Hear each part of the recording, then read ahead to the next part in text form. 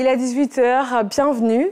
Le vice-président de la République, Chiemoko Meïlie Kone, a reçu aujourd'hui au palais présidentiel l'ambassadeur de Corée et celui des Émirats arabes unis.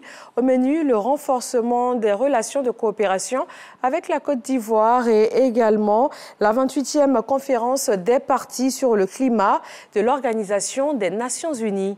à Ouattouré. La conférence de Dubaï 2023 sur les changements climatiques se tient du 30 novembre au 12 décembre aux Émirats arabes unis. C'est dans ce cadre que l'ambassadeur des Émirats arabes unis est venu remettre au vice-président de la République, Timoko Miliet Kone, la lettre d'invitation du chef de l'État, le président de la République Alassane Ouattara, à cette 28e conférence des partis sur le climat de l'Organisation des Nations unies. Nous, aux Émirats arabes unis, nous attendons la participation effective de la République de Côte d'Ivoire à cet événement. La rencontre était aussi une occasion d'échanger sur la question des relations bilatérales, notamment hein, la question relative à l'économie.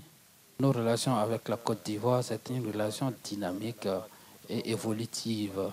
Et vraiment, c'est ça la volonté aussi de nos deux autorités afin de renforcer ces relations.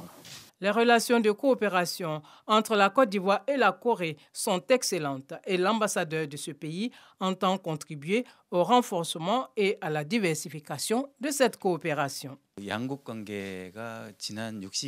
Les relations bilatérales entre nos deux pays ont poursuivi sa dynamique ces 62 dernières années. Euh, donc euh, aujourd'hui, nos échanges ont porté sur le renforcement de la coopération bilatérale entre nos deux pays. Et puis, je dis que euh, moi aussi,